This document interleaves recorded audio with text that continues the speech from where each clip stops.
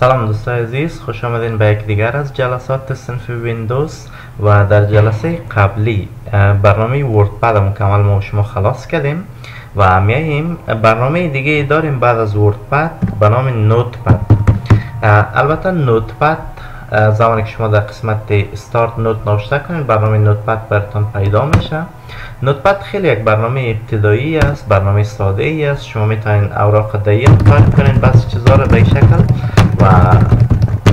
زمانی که شما تایپ می‌کنید پرینت می‌کنید فقط ورقتان سیاسفید می یعنی رنگه نیست در برنامه Notepad اصلا رنگ موجود نیست و شما می‌تونید به منظور تایپ کردن بعضی موضوعات دهی و همچنان به منظور یادداشت کردن بعضی موضوعات اگر بخواین یادداشت کنید می‌تونید در برنامه Notepad به این شکل نوشته کنید و همچنان البته برای ما شما که از کامپیوتر به حالت عادی استفاده می‌کنیم از Notepad به همین منظور می‌تونیم استفاده کنیم. ولی برنامه نویس ها البته engineer ها software engineer ها اونا می‌تونن از برنامه Notepad بسیار استفاده خوبی کنن. اکثر وایرس ها رو بسازن در اکثر جاها می‌تونن بعضی فرمان ها رو در برنامه Notepad بتن. البته برای ما شما استفاده های ما استفاده کننده های معمولی کامپیوتر هستیم از Notepad می‌تونیم به این منظور استفاده کنیم. بعضی یادداشت ها را تایپ کنیم و بعضی اوراق به این شکل تایپ کنیم پرینت کنیم. و بازم براتون میگم برنامه Notepad رنگ نداره سیاه سفید است. فقط به این شکل خود ورق سفید و تکس هایتون سیاه. می‌تونید سایز یا اندازه تکس هایتون رو تغییر بدین. دیگه کدام design سر text تون تطبیق نمی‌تونید و زمانی که شما WordPad خواندین مطمئن هستم که Notepad همگیش یاد دارین. فایل دقیقا اون موضوعاتی است که در فایل خود برنامه WordPad شما خواندین. کدام چیز جدید نیست؟ edit هم اون موضوعات است undo را شما خواندین در برنامه WordPad که آخرین فعالیت های ما را کنسل می‌کنه. cut copy paste delete همگی از یار شما می‌فهمین. Find find next replace کلشان شما خواندین در برنامه WordPad. ویدیو قبلی رو ببینین اگر بازم مشکل داشتین. و بعدشون هم go to داریم. در go to ما چیکار می‌تونیم؟ فقط سر line های مشخص می‌تونیم بریم. مثلا فعلا cursor شما ببینین در کدام line قرار داره در line ششم. ما می‌خوایم در line اول برم سر edit و سر go to میایم اینجا تایپ می‌کنم یک و enter. ببینید cursor آورد در line اول. یعنی به شکل اگر تعداد line ها خیلی زیاد باشه شما مشخصا سر یک line بخواین برین می‌تونین از طریق go to تایپ کنین line number و دقیقا cursor تان به همون line number می‌بره دیگه موضوعی در edit موضوع جدید نداریم. select all date and time یا time and date اینا موضوعات است که در برنامه WordPad شما خواندین.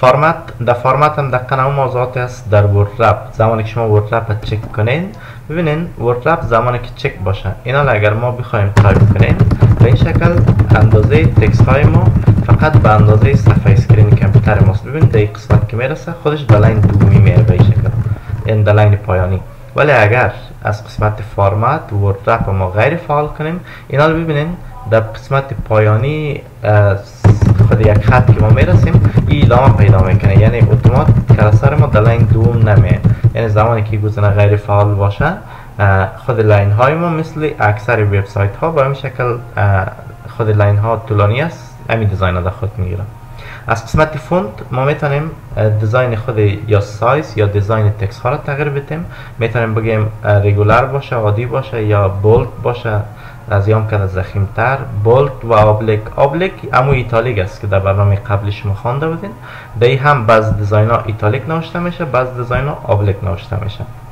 به این شکل می‌تونین design designش انتخاب کنیم از قسمت هم design text به کدام شکل باشه مثلا الفن باشه یا کدام design size textتان با کدام سایز باشه؟ مثلا میگیم 28 و OK. دقیقا هر design را که شما یا هر سایز را گرفتین همون سایز سر textتان تطبیق میشه. خب. و در پایان هم status bar دارین می‌تونین به طرف راست و چپ کش کنین تکس هایتان ببینین. یا هم از قسمت format word wrap فعال کنین تا بسیار به حالت عادی و به مو که قبلا جنجالک داشت به طرف راست و چپ کش می‌کنین از او حالت بیرون شد به این شکل بر بگرده دیگه موضوعی در قسمت فرمت نداریم. میایم در ویو. در ویو دقیقا همون استاتس بار است. اما استاتس بار در برنامه نوتپد خاموش است و دلیلش هم ای است که از قسمت فرمت ورد فعال است. زمانی که ورد فعال نباشه اینا استاتس بار روشن است می‌تونیم استاتس بار کلیک کنیم تا قسمت پایان پیدا شود در status bar برنامه Notepad چیز خاصی نداریم فقط معلومات بر ما میته که دقیقا cursor ما سر line قرار دارد در line اول col یعنی حروف در حروف چندم قرار دارد در حروف اول مثلا در line اول cursor اینجا قرار می‌تونه ببینین col 26 شد یعنی در line اول و در حروف 26 قرار دارد به شکل status bar فقط در برنامه Notepad یک چیز معلوماتی است برتون و help داریم که help البته آنلاین کار می‌تونه زمانی که شما با اینترنت وصل باشین می‌تونین سوالات در قسمت help داشته باشین.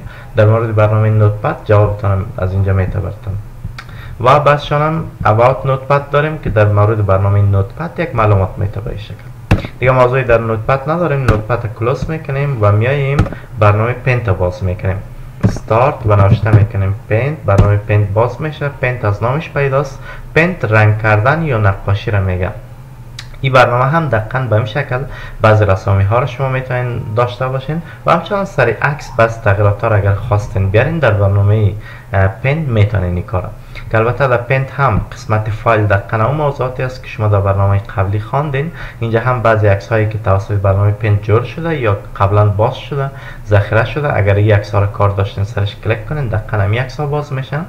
و از طریق open هم می‌تونین کار. از طریق new اگر خواستین این صفحه که در اینجا دارین ای گم یک صفحه جدید به می‌تونین سر new click کنین توسط سیو و سیو هم می‌تونین ذخیره کنین عکستان در کامپیوتر توسط پرینت هم می‌تونین پرینت کنین البته محتویات پرینت هم دقیقا اون چیزایی است که در برنامه Word در جلسه قبلی خواندین شما البته جلسه قبلی نه جلسه اشتم دو قسمت پرینت برنامه Word تشریح شده و send in email توسط ایمیل اگر خواستین عکس یا رسامی که در روی صفحه داشته باشین بفرستین می‌تونین. و موضوع دیگه برنامه properties است. About Paint در مورد برنامه Paint براتون معلومات میتن و exit هم دقیقا برنامه را close می‌کنن کنار کلش در برنامه قبلی داشتین. اما چیزی که نو از در اینجا دو چیز است. یکی from scanner or camera و دیگه هم set as desktop background و properties یعنی سه گزینه جدید است. from scanner or camera هدفش است زمانی که scanner در کامپیوترتان وصل باشه یا پرینتر هایی که اسکن هم می‌تونه. می‌تونید بعضی عکس ها را در روی از scanner بانین و از روی از scanner scanner عکس در اینجا بیارین. یعنی مثل open کار می‌کنه. open عکسی که در کامپیوترتون ذخیره است در روی برنامه Paint.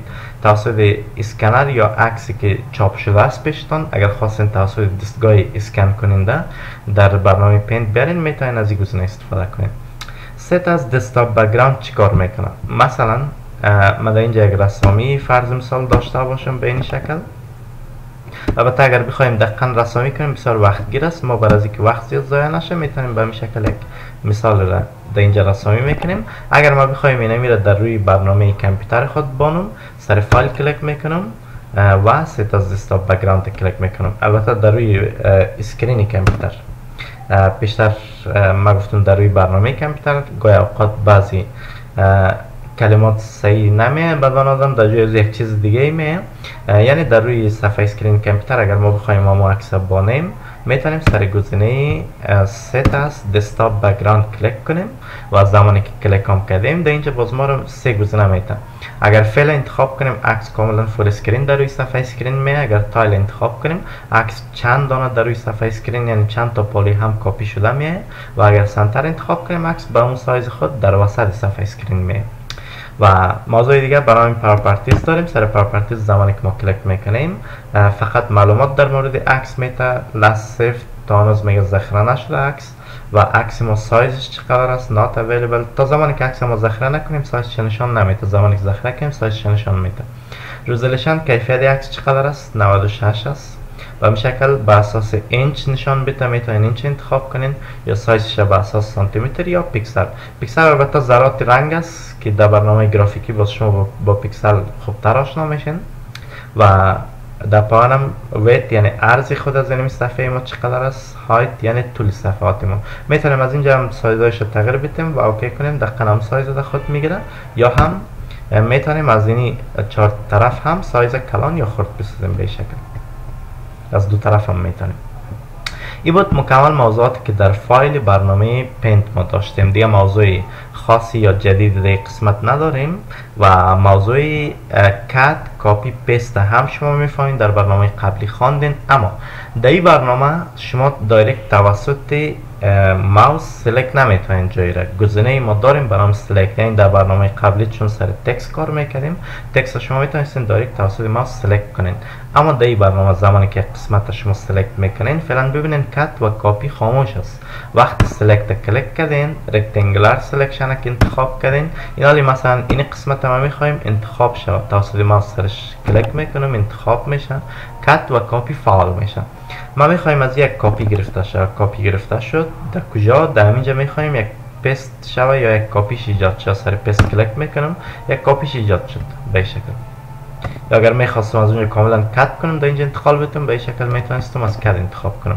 یک چیز باید داشته باشین در برنامه Paint. تا زمانی که شما سر یک object هستین می‌تونین تغییرات سرش بیارین. مثلا می‌تونیم سایزش خرد بسازیم یا کلان بسازیم یا به شکل از جایش به بیرون دیگه جای ببریم. اما اگر در روی صفحه screen یک بار به این شکل کلیک کردم این دیگه به همینجا lock شد. دیگه نمی‌تونم سر از این تغییرات بیارم. این کاملا یعنی قبلا یک object جدا بود اما فعلا شامل صفحه شد. اگر ما بخوایم تغییرات بیاریم سر مکمل صفحه تغییرات می تمام سر از object تغییرات نمی آمد. این بود cut copy و paste میایم سر select البته درس ما زیاد طولانی نشه. از قسمت select به بعد موضوعات ادامه میتین در درس بعدی. و باز هم برتان میگم سوال پیشنهادی داشتین ما در خدمتتان تا درس بعدی خداحافظتان Thank you.